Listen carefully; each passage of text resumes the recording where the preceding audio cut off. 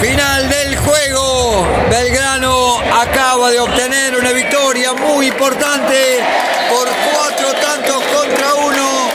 Y todas las imágenes están con el flaco Lobaretti en su despedida del fútbol. Allí se va Unión muy preocupado por su situación.